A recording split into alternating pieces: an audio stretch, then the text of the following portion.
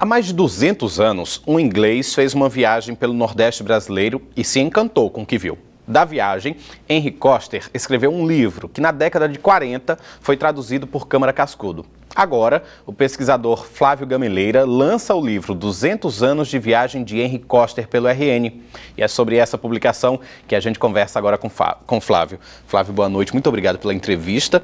Por que escrever esse livro? Boa noite, Jadir. Boa noite, telespectador da TVU. Este livro traz à tona para esta geração a saga, a viagem épica de Henry Costa por terras potiguares.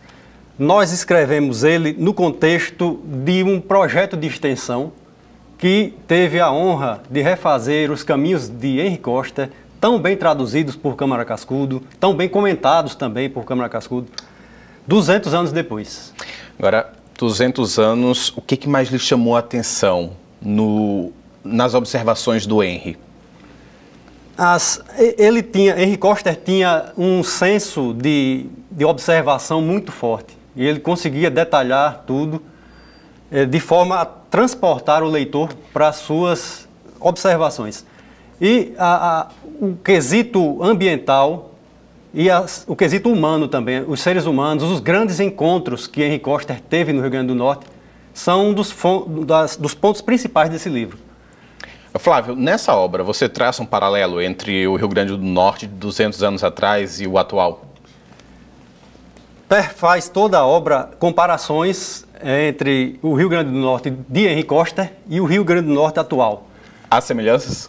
Semelhanças poucas. É, por exemplo, a seca, os efeitos da seca ainda estão presentes. Inclusive, vou citar aqui a Lagoa do Piató, no município de Açu, nós visitamos a lagoa em setembro de 2016 e não encontramos água em parte alguma.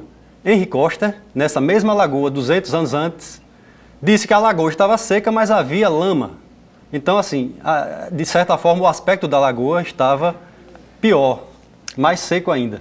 Pois é, é um, uma situação, uma condição natural que já conhecida há 200 anos e que até hoje o poder público, infelizmente, não trabalha para que haja de fato uma convivência, né?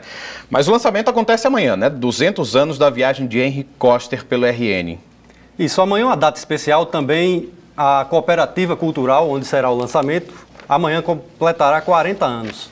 Né? Então, a partir das 11 horas, até por volta das 13 horas, estaremos lá com esse lançamento, recebendo os interessados na cultura, na história do Rio Grande do Norte e que vão lá conversar conosco um pouco sobre esse grande escritor Henri Costa. Então o lançamento é amanhã na Cooperativa Cultural, a partir das 11? Isso, na Cooperativa Cultural do Campus Universitário, a partir das 11 horas. Agora, quem não puder estar no lançamento, como é que faz para comprar? O livro estará disponível na própria cooperativa e em alguns outros pontos de venda que nós divulgaremos depois na nossa página no Facebook. A página no Facebook é Projeto K200. K200. K, a letra 200 Isso. numeral. Isso. Muito obrigado, Flávio Gameleira, que é mestre em desenvolvimento e meio ambiente e também autor do 200 anos da viagem de Henry Coster pelo RN. Parabéns pela obra, sucesso no lançamento. Muito obrigado pela oportunidade e parabéns a vocês por sempre apoiar a cultura norte-rio-grandense. Muito obrigado, Flávio.